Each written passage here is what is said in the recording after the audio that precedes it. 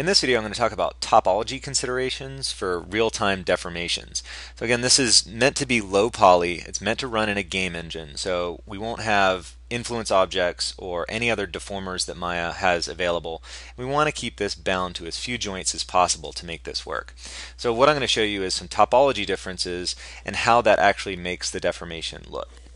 I'm going to do this while talking about an elbow, which tends to be a little bit of a problem area in CG because things tend to round out a lot. And what we want, as you can see in this image, is almost a 90 degree angle here on the outside and then it's folded up on the inside. So we'll let that interpenetrate on the inside and then we'll try to keep this nice and sharp on the outside here. And I'm just going to do this through looking at some topology differences.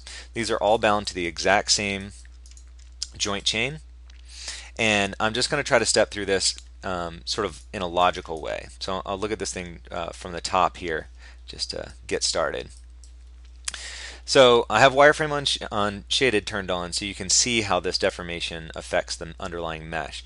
And for all of these, one thing to know is what I did was I just selected the edge loop and then I bound this almost exclusively to the upper arm and I bound this loop to the elbow here. That way it basically maintains volume, things don't crush in, and um, this is the result. So we'll go ahead and start demonstrating here. So you can see on this one, the inside of the arm is actually okay. The interpenetration um, works fine to sort of create that fold. But the outside of the elbow here, it sort of just collapses. Everything just, that's not what an elbow needs to look like. I basically don't have enough geometry to sort of make that work. One concession you might think um, of would be, see the angle of this right here? What if this edge loop right here just went at that angle? And then you would be stiff until out here. Hopefully that makes sense. So there would be this point would be out here and so then that would maintain volume out to here and then it wouldn't crush down quite as much at the back of the elbow. But that will create little weirdness other places and basically what it boils down to is two spans is not really ideal for this sort of a joint.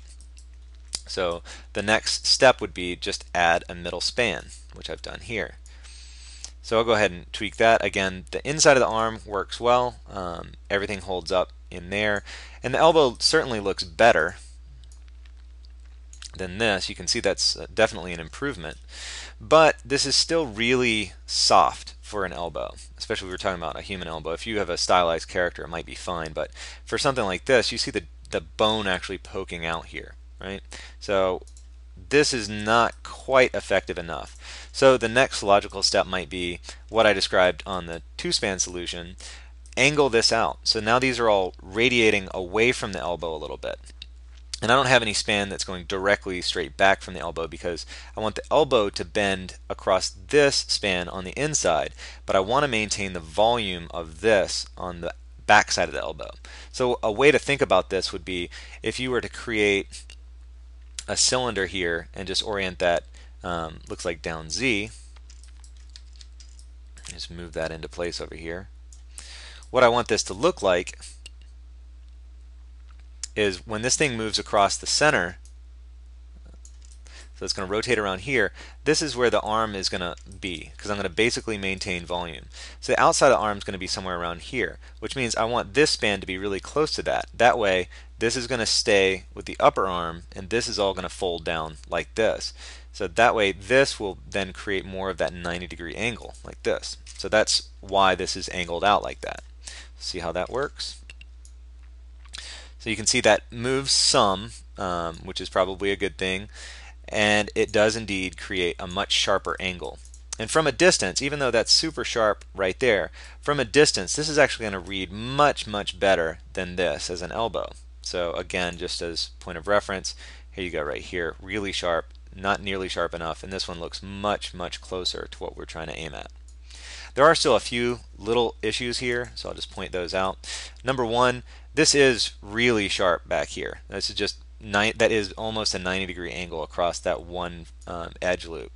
And on the inside, we have this sort of little bit of a problem. And again, unless you're going to see this up close, this isn't a big deal. But what happens here is since this edge loop is held on the upper arm and this is following the elbow, this one in the middle is sort of an average of those. And as this bends, you see that this collapses first and it ends up creating this little bit of a kink in. So you get this little V notch cut into the um, where the elbow is. And it's not a huge deal, but it's not fantastic and it could be improved.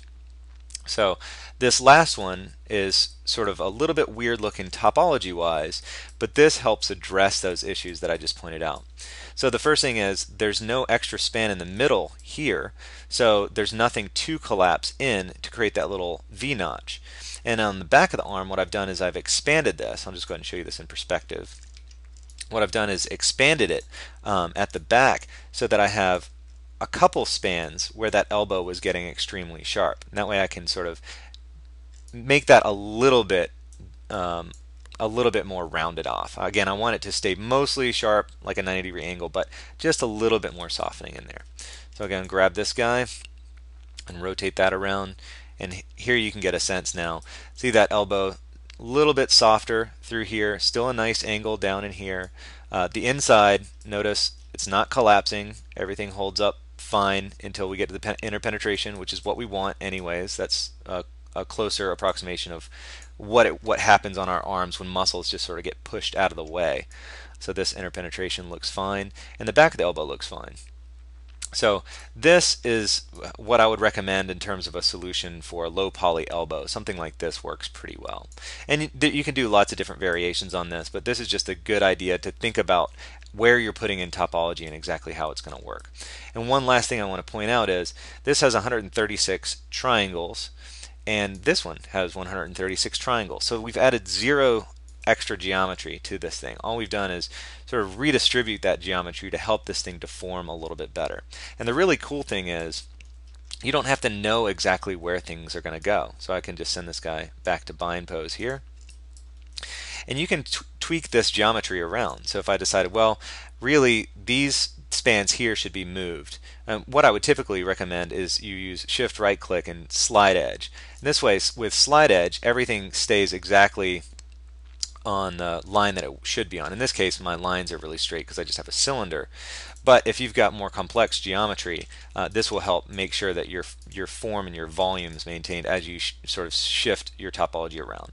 So I can make these sort of changes, and what I'm what I would probably need to do is come back and just do little weight tweaks after I make those changes.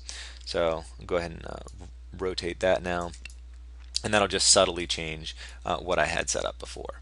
So you don't have to be in and sort of ironed out completely uh, 100% done, you can sort of tweak this stuff after the fact and then, and then go back and tweak the weights. So hopefully that's helpful.